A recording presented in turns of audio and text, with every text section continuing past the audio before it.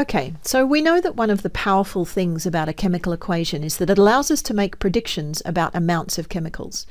For instance, in this hypothetical reaction, we know that if we have 2 moles of A, we will need 1 mole of B to react completely with it, and that when that has happened, we'll have 3 moles of C, the product. But no one has a setup in their lab that automatically measures moles. Design project for you, come up with one that does. What we do have, generally, are setups to measure mass and volume. So, in order to make predictions that are really useful and measurable, we need to convert our mole predictions into mass or volume predictions. Happily, we already have a strategy for doing this.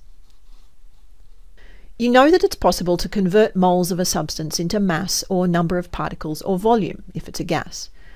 The conversion factors are either a proper constant, like Avogadro's constant, or a constant under defined conditions, such as the gas molar volume, or can be calculated from information on the periodic table, like the molar mass.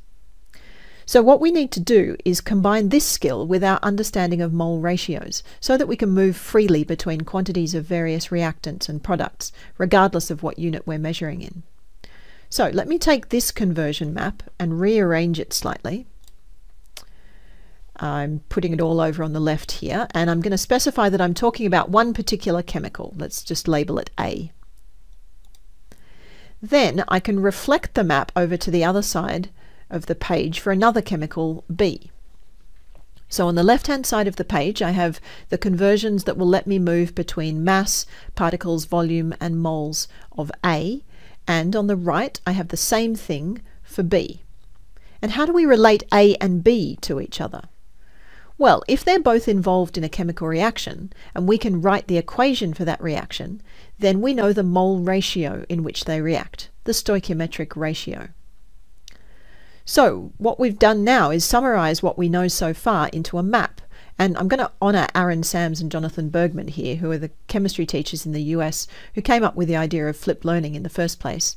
And I'm going to borrow their name for the map, which is called the Land of the Mole. So what this diagram does is map out the calculation path that you would take for any given stoichiometric problem. For instance, if you had a certain mass of reactant and you wanted to know what mass of product it would give, you would convert the mass of the reactant to moles, you'd use the mole ratio to calculate the moles of product that would be produced, and then you'd convert the moles of product into a mass.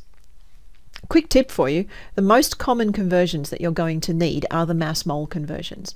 You do need to know how to do the particle and volume conversions, but in terms of calculations that you're most likely to need as you work in the lab, the mass to mass calculations will be far and away the most useful.